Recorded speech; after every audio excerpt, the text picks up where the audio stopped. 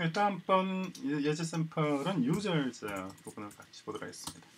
유저즈 넣었을 때 이렇게 화면에 표시가 되고 있습니다. listing users 페이지 1에서 슈퍼맨 도 있고 주피터도 있고 username, 이메일, 폰 등 이렇게 구성되어 있고 show, edit, delete show 클릭하시면 이렇게 해당 정보가 나오고 그죠? edit 버튼 클릭하면 이렇게 정보를 음, edit할 수도 있고 그죠? 그리고 save 해서 고칠 수도 있고 그런 구성이에요.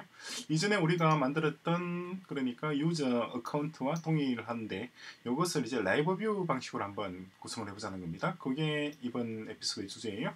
그래서 1, 2, 3, 4, 5, 6, 7 뭐 이렇게 페이지도 있습니다. 페이지도 마찬가지 유저즈 해서 페이지 번호 4번입니다. 1번 유저즈 페이지 1 했을 때는 1페이지 그죠? 2 했을 때는 2페이지 이렇게 나타낼 수가 있도록 구성이 되어 있어요. 예, 이렇게 구성 기본적인 형태입니다. 그래서 이전에 봤던 것과 상당히 비슷하면서도 조금 다른 부분도 있습니다. 어, 그래서 router에 보시면은 유저즈 부분만 별도의 라이브러리 구성이 되어 있어요. 그죠?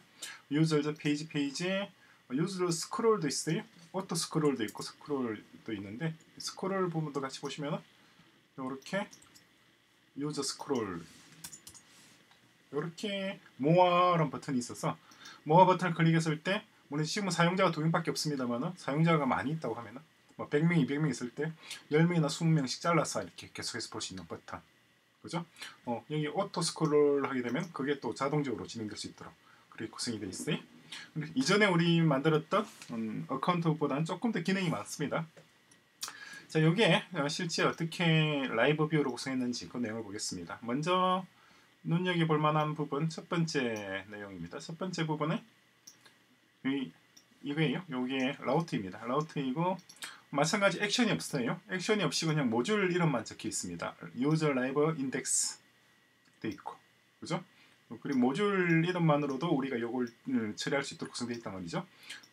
index index manual scroll 있고 auto scroll new, show, edit, 그다음 use control 이렇게 되어 있는데 자, 이 부분이 resources, plain users 되어 있는 이 부분 있잖아요. 이게 우리가 이전에 했던 방식입니다. 그죠? 이전에 했던 방식 resource를 통해서 어, 8개의 메뉴가 짜라락 만들어지죠. 그리고 이걸 처리하기 위한 user controller user controller 파일이 어디 있단 말이겠죠? 그래서 위에 보시면 들어와서 보시면 음, 어디쯤 있을려나? 여기 있죠. controller 예, 이게 예전 방식입니다. 지금은 얘가 없이도 동작을 합니다. 그죠? 나중에 예전 방식으로 하려면 요 얘를 써야 되겠죠. 일단 주석으로 처리하더라도 아무런 상관이 없습니다. 서로 비교를 해보라는 거예요. 비교해보는 차원에서 예전 방식과 그죠? 예전 방식입니다. 예전 방식과 지금 방식, 라이브 방식 두 가지를 서로 비교를 해보는 거예요. 자 그리고 어, 물론 이제 요걸 살리 넣으려면은 이렇게 이걸 주석으로 처리를 했으면 될건 아니죠. 일단 살려놓겠습니다. 얘는 쓰진 않을 거예요. 여기 있는 유즈 컨트롤러는 닫아놓죠. 이런 게 있다는 것만 이 위치만 제가 말씀을 드린 겁니다. 그쵸? 위치 여기 있는 얘예요.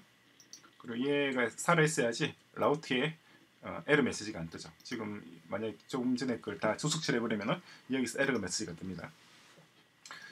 자 그리고 어, 그럼 실제 이 LiveView에서 구동되고 있는 것은 음, 이전과 동일합니다. 이 데모와 데모 웹 두 개 중에서 비즈니스 로직과 그러니까 context 말입니다. context는 데모에서 처리를 하고 그리고 웹 인터페이스는 데모 웹에서 처리하고 그죠?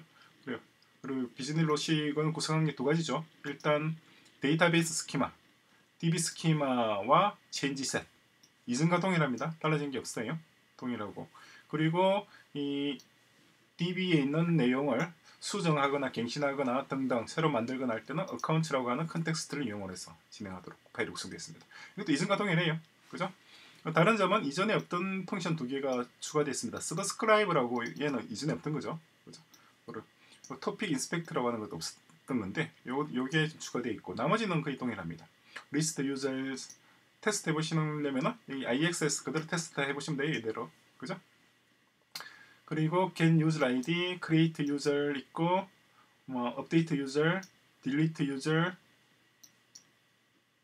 change user 그리고 없던 이전에 없던 것 중에서 notify subscribers 이 두 개가 어, notify subscribe라는 function이 또 추가되어 있습니다.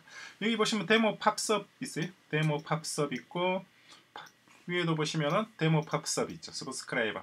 subscriber 관련은 이제 PubSub과 관련되어 있는데 이 PubSub과 관련해서 별도의 에피소드를 한 다섯 개 정도 준비를 했습니다. 그래서 어, 요번 이 뭐예요? 요 샘플들 살펴보고 이어서 PubSub 기능을 좀 더 자세하게 살펴볼 겁니다. 자 일단 이렇게 구성이 되어 있다는 내용을 보시면 보시고 이게 account 부분입니다. 그리고 이제 웹 인터페이스 부분이죠. 웹 인터페이스는 이렇게 user live라고 해서 별도의 하나의 디렉토리를 만들어 뒀어요. 그죠? 만들어서 보시면은 index index 관련돼 있는 부분 여기에 어, 자동적으로 호출되는 것이 여기에 어, 뭐라고 해야 되나 유저죠. 그러니까 메인 화면이죠. 여기서 유저죠. 했을 때 그때 지금 요거 이 부분이잖아요. 요 파일을 만들어내는 것이 바로 요 index 부분입니다. index ex 돼 있죠. mount 있고 render 있고 그리고 index html 그러니까 템플릿도 이전과 동일합니다. 템플릿 그대로 user template, edit form, index navi, index html, new html 등등 있죠. view도 마찬가지 동일합니다. view도 user view 있죠. 단지 없는 건 없어, 없어지는 것, 사라진 것, 쓰지 않는 것은 JavaScript 파일을 쓰질 않아요.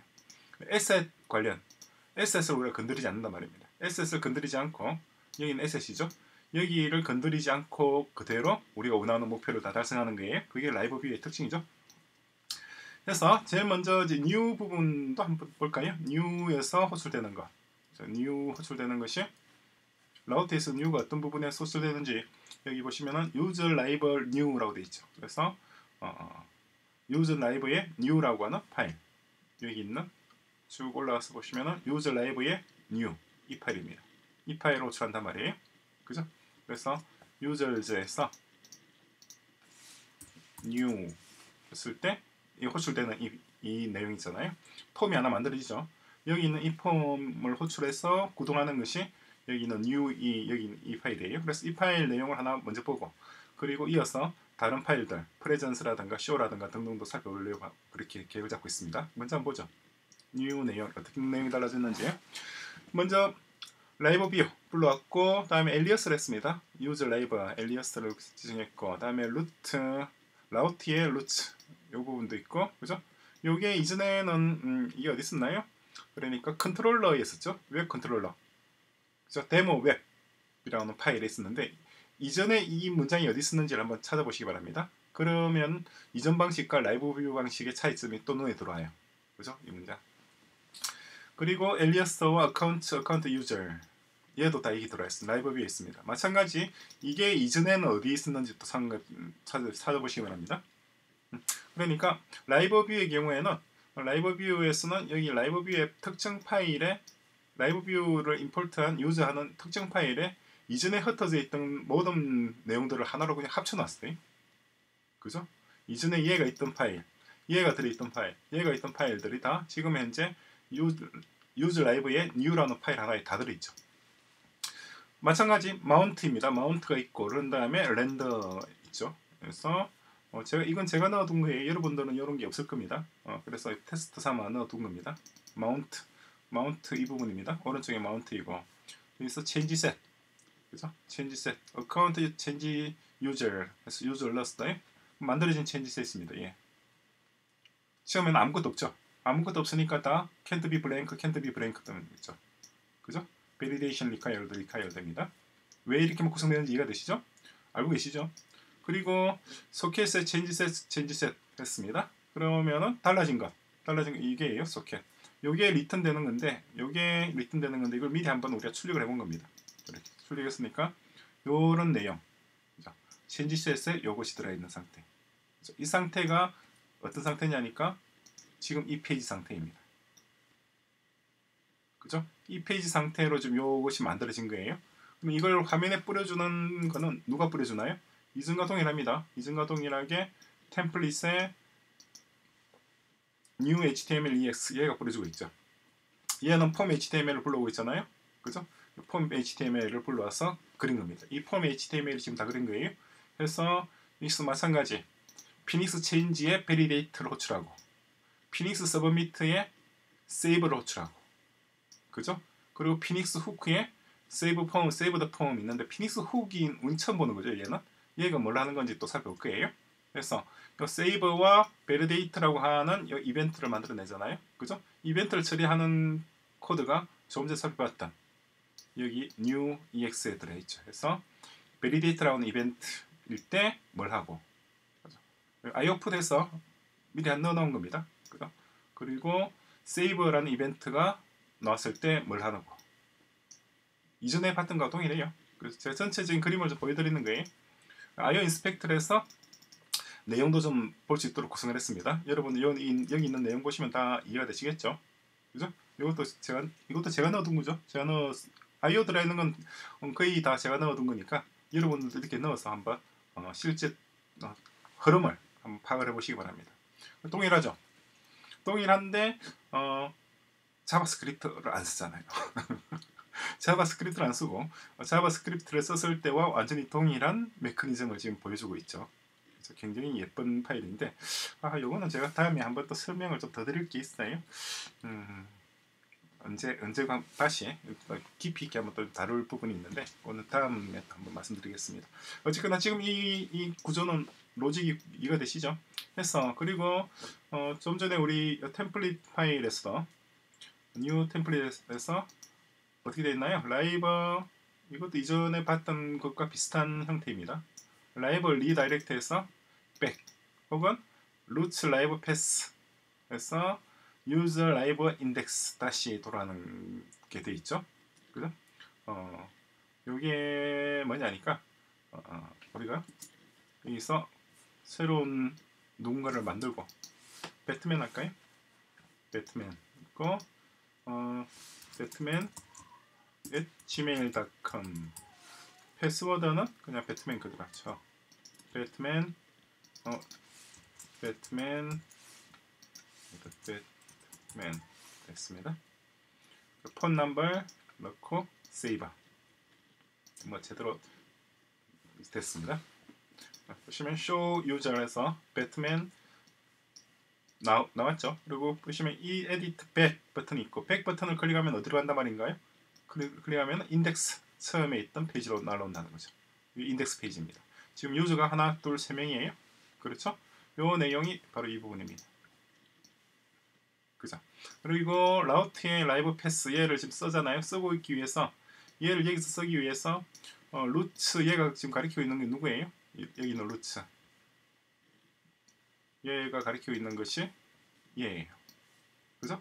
그러니까 어, 데모의 유즈 라이브의 new라고 하는 파일 여기에 규정되어진 모든 베리어블들을 이 유즈 라이브 new에 할당되어진 ex 파일에서 불러서 쓸 수 있다는 것은 이전과 동일합니다. 그죠? 그리고 이전과 좀 달라요. 다른 점이 뭐냐니까 이전에는 ex 파일이었는데 지금은 leex입니다. 앞에 L이 붙어 있어요. 그죠? 그래서 L LiveView에 말하는 어, 의미예요. 그래서 LEEX와 어, 그냥 EEX도 좀 차이가 있습니다. 그 차이점이 뭔지도 어, 이어진 에피소드에서 한번 살펴볼 겁니다. 그죠? 자 그리고 하나 더 있습니다. 뭐냐니까 save 버튼을 우리 클릭했을 때 New에서 save 버튼을 클릭을 하면 어, 이벤트가 만들어지죠. 만들어지면서 save에서 redirect에서 어디로 가나요? 소켓 다시 좀 check해서 보시면은 소켓 user live show로 진행되도록 구성이 되어 있어요. 그죠? redirect. 그죠? 그러니까 우리가 조금 전에 여기서 음, 배트맨을 저장을 했을 때 이 부분이 show로 호출한 거죠. 배트맨의 쇼. 그죠? 이해되시죠? 그리고 마찬가지 어, delete를 하게 되면 delete, edit, show 각각이 호출됩니다. 호출되는 버튼을 봐서 에디과 딜리트 버튼 이것도 같이 한번 살펴보도록 하겠습니다.